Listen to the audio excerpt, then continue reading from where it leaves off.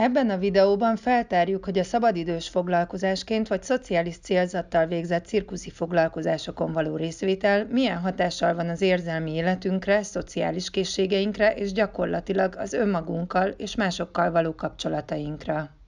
Ahogy az elmúlt 40 évben a cirkuszi műfaj újabb irányokba terjeszkedett, túllépve a korábban leginkább művészeti és szórakoztató formáján, úgy jelent meg a cirkusz, mint szabadidős foglalkozás, amatőrök által végzett hobbi tevékenység, és a szociális cirkuszi megnevezés alatt a hátrányos helyzetű és speciális igényű csoportokkal való foglalkozás. A Magyar Zsonglőr Egyesület 2001 óta dolgozik ezen területek hazai terjesztésén, és foglalkozott sok száz csoporttal, közülük is kiemelve a budapesti Heimpál pszichiátrián kezelt gyermekeket, a borsodi mély szegénységben élőknek második esélyt adó dr. Ambétkár iskola tanulóit, a Bárci Gusztáv gyógypedagógiai iskola fogyatékkal élő speciális igényű tanulóit, vagy a Pest Erzsébeti lakótelepen található roma kisebbséggel dolgozó pinceklub fiataljait.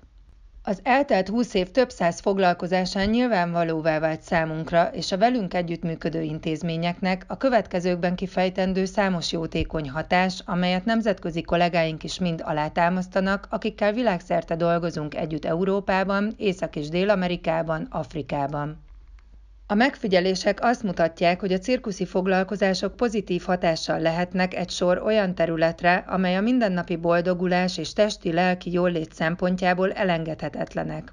Ilyen fontosabb területek az önbizalom, az érzelemszabályozás, az énhatékonyság érzés, a sikerélmény, valamint az érzelmek és frusztrációk nonverbális kifejezése, a kooperáció fejlődése, vagy a valahova tartozás megtapasztalása.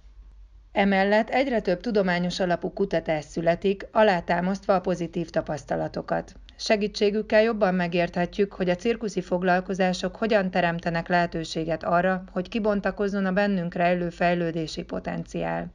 Az egyes tanulmányok eltérő hangsúlyokkal más-más témát helyezve a fókuszba vizsgálják a cirkusz lehetséges fejlesztő hatásait. Figyelembe kell vennünk általában a művészetek pozitív hatásaival foglalkozó kutatásokat, ahogy például Pozner és munkatársai kutatásukban a művészetekkel való foglalatoskodást vizsgálták gyermekkorban. Arra utaló eredményeket találtak, mely szerint a művészetekre fogékony gyerekeknél tapasztalt magas motiváció pozitív hatással van a figyelemre, az érzelmek és gondolatok szabályozásának képességére, valamint átfogóan a kognitív működésre. Más kutatási eredmények is a művészettel való foglalkozás és a jobb kognitív kontroll közötti összefüggés irányába mutatnak. Katerális munkatársai longitudinális kutatása pedig a szociálisan hátrányos helyzetű fiatalok esetében pozitív kapcsolatot talált a művészetekkel való intenzív foglalkozás és a későbbi akadémiai előmenetel, valamint a civil aktivitás elköteleződés között. A művészeti foglalkozásokon résztvevő hátrányos helyzetű fiatalok később az átlaghoz hasonló akadémiai előmenetelt mutattak. Az ICO, az Amerikai Ifjúsági Cirkusz Szervezet is végzett kutatást a témában. Ezt a kutatást a hálózatuk szociális cirkuszi alszervezetén, az ICO Social Circus Networkön keresztül folytatták, elsősorban a szociális és érzelmi tanulásra koncentrálva, amit rövidítve SEL-ként nevezünk.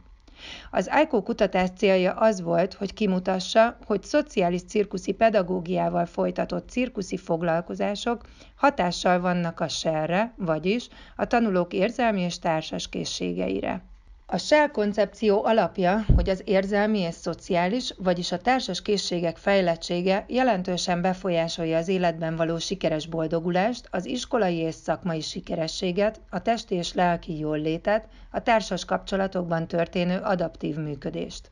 Éppen ezért kell nagy hangsúlyt fektetni ezekre a területekre is, a manapság túlsúlyban lévő értelmet célzó és adatokat előtérbe helyező iskolai oktatás mellett. A szociális és érzelmi tanulás magába foglalja az érzelmek felismerésének és szabályozásának képességét, a társas kapcsolattartás szabályait és készségeit.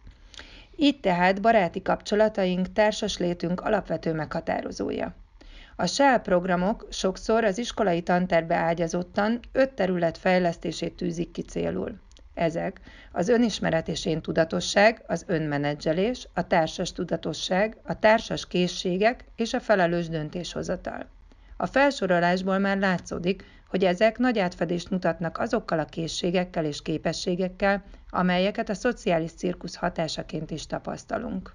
Az ICO szociális cirkuszi hálózata 8 szervezet 11 programjának hatását vizsgálta, hogy lássa, milyen mértékben érik el a szociális célt, illetve hogyan fejlesztik ezt a bizonyos selt. Összehasonlították több szempontból a 9 hónapot felölelő szociális cirkuszi programok előzetesen és utólag mért adatait valamint a saját szociális cirkuszi foglalkozásaikat összehasonlították nyolc példaértékű ifjúsági programmal, amelyek nem cirkuszművészetet alkalmaznak, de a szociális és érzelmi tanulásra összpontosítanak. Ezen felül összevetették foglalkozásaik hatását számos másik fiataloknak szóló általános foglalkozás hatásával is. A vizsgált cirkuszi programokban közös volt a kihívást jelentő tanterv, tehát a tanulók intenzív képzés során komoly kihívást küzdöttek le a profi oktatók segítségével.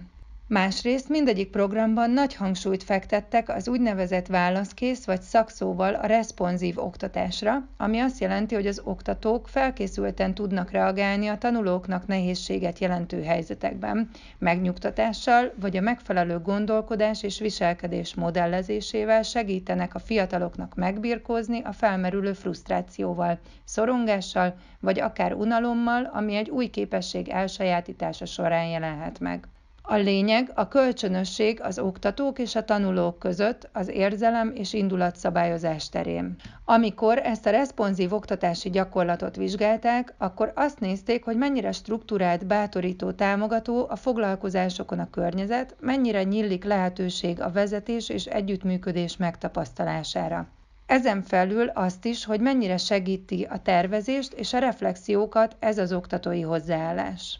Harmadrészt a szociális cirkuszi programok közös eleme, hogy amikor a kettő együtt jelenik meg, vagyis kihívást jelentő tanterv és a válaszkész kölcsönösségen alapuló oktatás, akkor az segíti mind a cirkuszi készségeket, mind a szociális érzelmi tanulás fejlődését. Ez utóbbi pedig elengedhetetlen a cirkuszi képességek elsajátításához is. Ez egyébként egy gyakran felmerülő kérdés, hogy egy új készség vagy trükk elsajátítása során megjelenő frusztráció hogyan kanalizálható. Azaz, hogyan érhetjük el, hogy a szociális cirkuszi foglalkozások során ez optimális mederben maradjon, és az érzelmi és indulat szabályozás fejlődését szolgálja, ne pedig még nehezebb helyzetbe hozza a fiatalokat. Erre nyújt egy lehetséges választ a tanulmány, hangsúlyozva a responsív oktatói attitűdöt.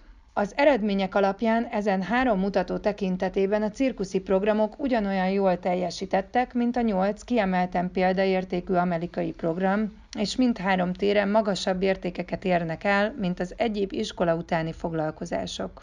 Ez azt jelenti, hogy a kihívás szintje, a válaszkész oktatói attitűd és a résztvevők elkötelezettsége is magasabb az átlagnál ezekben a cirkuszprogramokban. A kutatás vizsgálta a résztvevő tanulók egyéni fejlődését is a szociális és érzelmi képességekben négy dimenzió mentén. Mérte az érzelemtudatosságot, az érzelmek viselkedéses szabályozásának képességét, a szociális szerepek elsajátítását, valamint a céltudatosságot. Az eredmények szerint a fiatalok jelentősen magasabb értékeket értek el a program végére a kezdeti mérésekhez képest és azt is megmutatta, hogy hasonló szinten változott, mint a példaértékű amerikai programoknál. A szokásos délutáni foglalkozások nagy átlagát pedig jelentősen túlszárnyalta.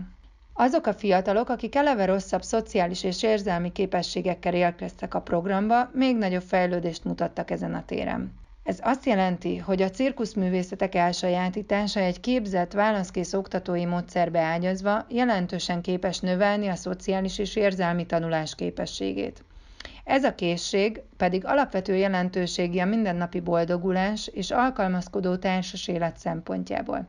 Mindemellett ezek a készségek a cirkuszi feladatok elsajátítására is visszahatnak, ugyanis az önszabályozás képessége elősegíti a cirkuszi gyakorlatok, trükkök, koreográfiák sikeres elsajátítását. Egy másik tanulmány hivatásos cirkuszművészekkel felvett interjúk elemzésével megmutatja, hogy elért sikereik szerves részének tekintik az érzelmek kezelésének, szabályozásának képességét. Egy friss kutatás iskolás gyerekeknél vizsgálta az iskolai testnevelés óra részeként tartott cirkuszfoglalkozások hatását. Azt az eredményt kapták a tanárok megfigyelése szerint, hogy a cirkuszfoglalkozásokban részesülő gyerekek fél év után kevesebb érzelmi problémát mutattak a cirkuszfoglalkozásokban nem részesülő gyerekekhez képest. A Shellhez hasonlóan egy másik népszerű modell a pozitív fiatalkori fejlődés modellje. A pozitív fiatalkori fejlődés a gyermek és serdülőkori képességek változását és ezek kibontakozásához szükséges feltételeket vizsgálja, ahogy a neve is utal rá, egy pozitív fejlődési keretben az erősségeket és lehetőségeket hangsúlyozva. Ez a modell sok kutatás elméleti keretéül szolgál. Egy etióp kutatás a pozitív fiatalkori fejlődés szemszögéből vizsgálja a szociális cirkusz hatását. A vizsgálat eredményei alapján a cirkusz foglalkozásokon résztvevő fiatalok magasabb értékeket értek el a pozitív fiatalkori fejlődés faktoraiban, amelyek az önbizalom, a kompetencia, a kapcsolódás, a gondoskodás és a karakter. Így ugyancsak visszaigazolja, hogy a sikeres alkalmazkodás és a belső erőforrások kibontakoztatását teszi lehetővé.